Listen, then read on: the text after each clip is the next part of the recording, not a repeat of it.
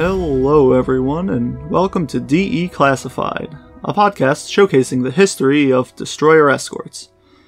Each month, a member of the USS Slater's education crew will highlight a specific destroyer escort and share the stories of the sailors who served aboard these trim but deadly ships.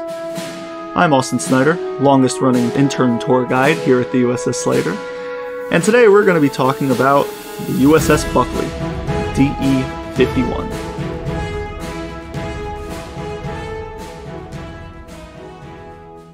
The Buckley was the lead ship of the Buckley class destroyer escorts. The Buckley class, being the second class of DEs to be designed by the US Navy, mostly went about attempting to fix many of the major design limitations and inconveniences of the preceding Evarts class.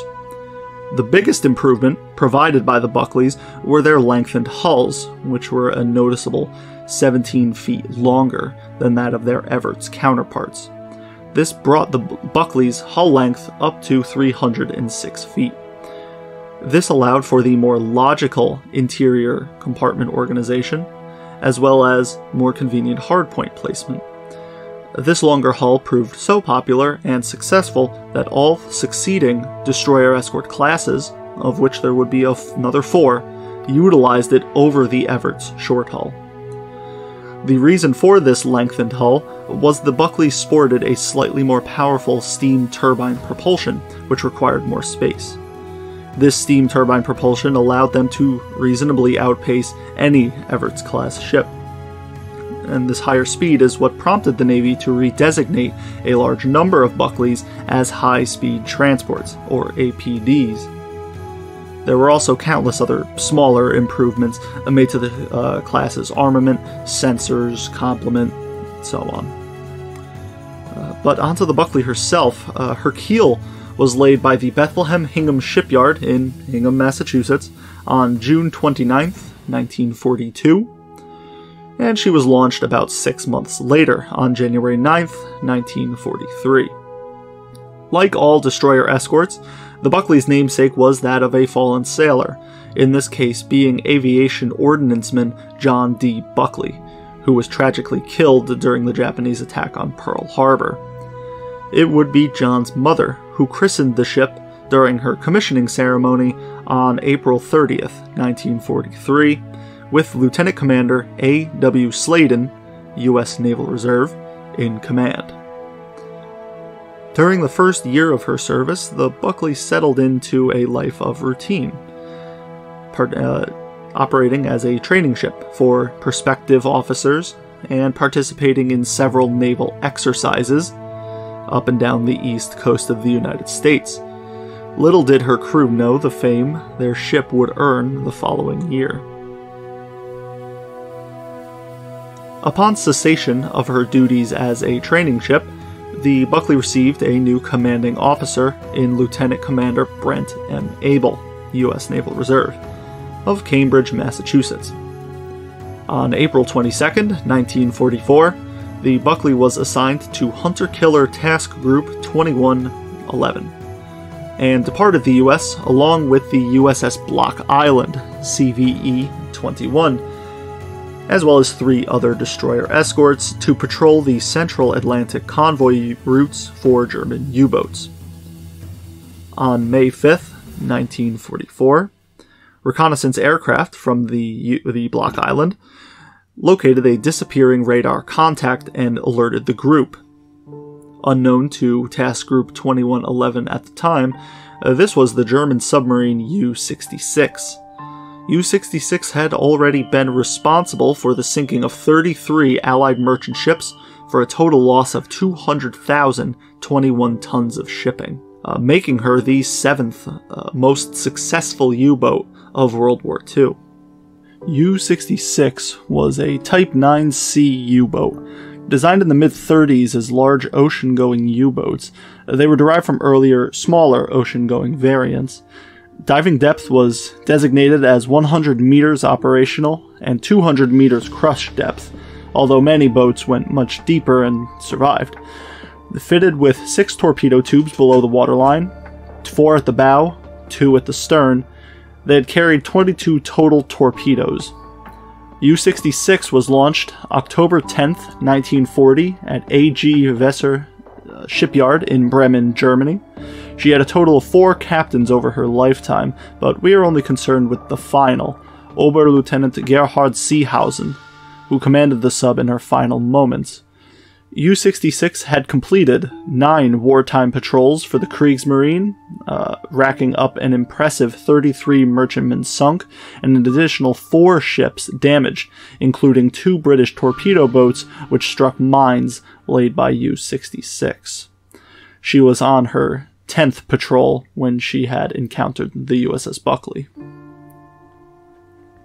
Now, U 66 was loitering west of Cape Verde uh, awaiting a rendezvous with a resupply sub, or a milk cow, as the Allies called them. What U 66 did not realize, however, was the supply sub she had been awaiting, U 488, had been sunk the week prior by the destroyer escorts USS Frost, Huse, Barber, and Snowden. Alerted to the presence of the sub, the Block Island dispatched the Buckley at 2120, 2120 hours, to engage her. The DE steamed towards the target with all speed for the next several hours. From here onwards, many things happened very quickly. I'll try my best to keep events in an easy to follow chronological order. It is now May 6th at 0216 hours. A TBF Avenger aircraft reports that U 66 is 20 miles from the Buckley, and the Buckley continues to close the distance, trying to keep the sub between itself and the moon, thereby obscuring the Buckley in the darkness. 30 minutes later, the Buckley picks up the sub on radar at a range of 14,000 yards, or about 12.8 kilometers, and goes to general quarters one minute later. With the Buckley quickly bearing down on the sub, Captain Abel orders all gun mounts to hold fire and to stream Foxer gear at 0300. Foxer gear is successfully streamed a couple minutes later. And at 0306, U 66, in a confusing move, launches a series of red flares which cut through the night and illuminate the sub. The reason for this is unknown, Perhaps the sub mistook the Buckley as the resupply sub she had been waiting for. Or maybe it spotted the aircraft that had been continuously circling overhead much of the night. Whatever the reason, Captain Abel was determined to get as close as possible before firing, and refused to let the guns fire just yet. Nine minutes later, at 0317, Watchmen aboard the Buckley reported seeing a torpedo wake off the port side of the ship. But the bridge made no mention of it in Captain Abel's report. Uh, Captain Abel at this point knows the gig is up and at 0319 hours orders the ship to alter course to avoid th- further torpedoes and orders the guns be loaded. Now, it's over the next 19 minutes that the USS Buckley gains all her fame, so blink and you'll miss it. Promptly at 0320, Captain Abel gives the open fire order. Then, at a distance of 2100 yards, or 1.9 kilometers, the two forward 3 inch guns on the Buckley score immediate, direct hits on the sub's forward end. Immediately following that, all mounts that could bear on the target begin rapid fire, including the ship's anti aircraft weapons, which are now definitely in range. At this point, the Buckley is still quickly approaching the sub, and the U 66 powers up her engines to try and run. The Buckley gives chase, however, and pulls up alongside the port of side of the sub. By 0325, the Buckley and U 66 were running parallel a mere 20 yards apart, exchanging gunfire the whole way. At 0329, Captain Abel gives the order to turn hard to starboard. Complying with the captain's orders, the helmsman of the Buckley spins the ship's helm to the right, bringing the two combatants closer and closer together. Seconds later, the Buckley's forecastle crashes into the sub, throwing sailors from both vessels onto their respective decks. Abel then utters an order that had not been heard in the US Navy since 1814 stand by to repel boarders. Sure enough, the German subcrew, fearing the Americans were going to board their sub, decided to beat them to the punch, and a handful of them climbed up onto the Buckley's forecastle by the number one gun. The German crew had a very real fear that the Americans would attempt a boarding action, as a handful of U boats had been captured by the Royal Navy in the preceding months and years before this event. Boarding was seen as an extremely high risk, high reward action by the Allies. Before abandoning ship, German crews would place scuttling charges on timers to destroy the sub once the crew were off. This was to protect the sensitive naval code materials and the infrastructure to encrypt and decrypt Kriegsmarine orders. All it took were those scuttling charges to detonate, or for the U boat to succumb to damage sustained during the previous battle, to send the boarding party on the sub to a watery grave. But the reward was enticing to the Allied powers. The more access they had to German coding equipment, the more German orders they could decrypt, and the more they could find out about German encryption. Just a few short months earlier, the Canadian ship, uh, I apologize if I butcher this pronunciation, HMCS Chilliwack, had boarded the U 744 and taken most of her code materials. And the following month, in June 1944, the month after the Buckley's attack, U 505 was entirely captured by the US Navy and she is now a museum ship in Chicago should you ever want to go see a German U boat in America. So you could see why the Germans were so keen to keep the Allies off their subs. Now, back to the Buckley's battle. Tooth and nail battle. Armed only with what they had around them, the Buckley's forward 3 inch gun crew defended themselves and the ship with coffee mugs, helmets, spent casings, sometimes just their bare fists. Officers on board who had their sidearms would employ those, as well as the chief damage controlman who was stationed up on the bridge with the captain, uh, had a Thompson submachine gun, which we would occasionally uh, spray bouts of uh, bullets down onto the conning tower of the sub to dissuade any further Germans from exiting the sub to attempt to board. The brawl only lasted for about a minute, as Captain Abel had no intention of letting any more German submariners aboard his ship, and he ordered the engines be slowed to allow the sub to free itself from the Buckley. The few German boarders that remained on the Buckley were escorted beneath decks by a man wielding a hammer. And the battle continued, as the sub was still operable. The Buckley easily caught back up to the fleeing sub by 0333 when the sub, seemingly out of control, ran into the Buckley. Now, with the sub again wedged up against the ship, a sailor on board the Buckley dropped two fragmentation grenades into the sub's conning tower.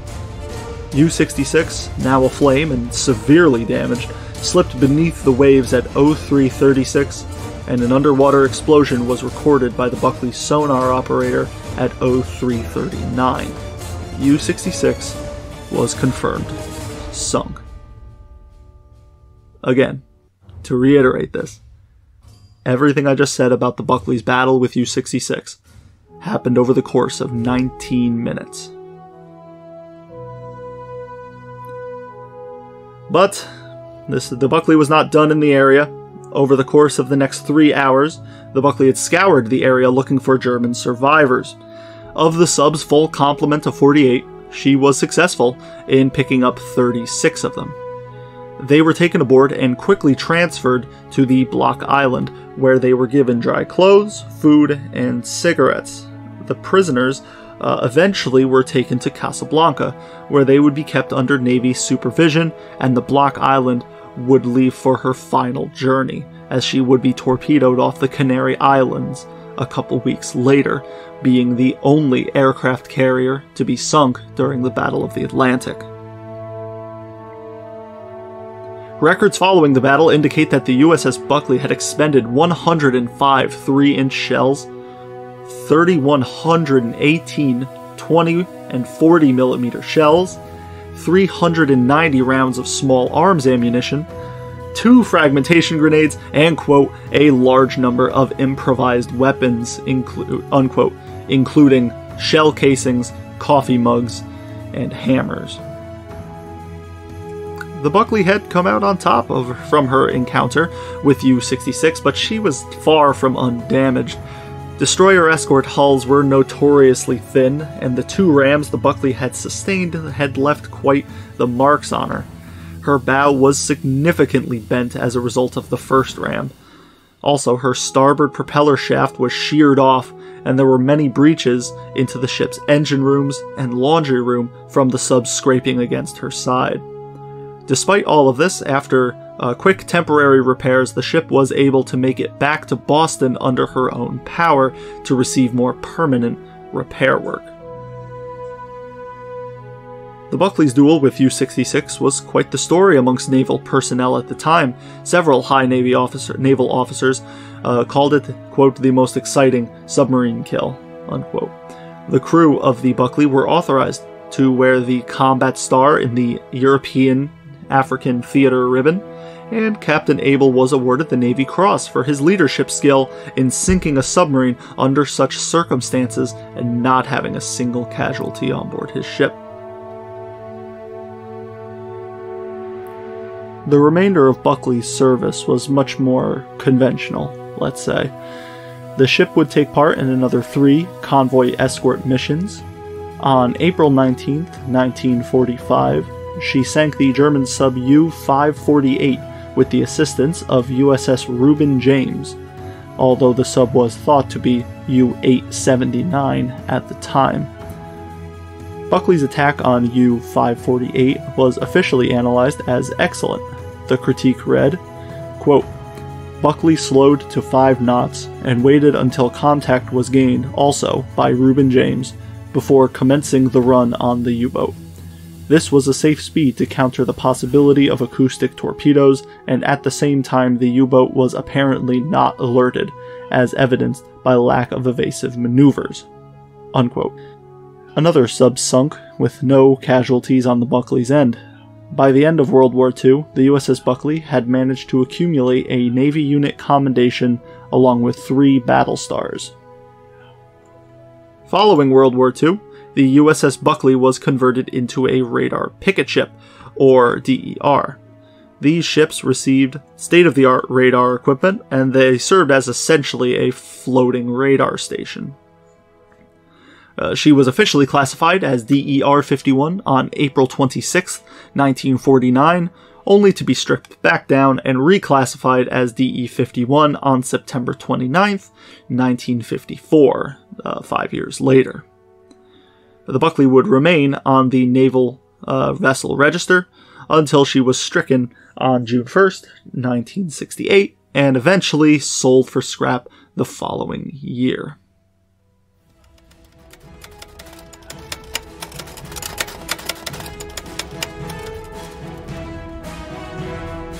Thank you for listening to DE Classified. This podcast is brought to you by the Destroyer Escort Historical Museum aboard USS Slater. You can find a transcript of this episode, accompanying photos, and a bibliography at ussslater.org slash declassified.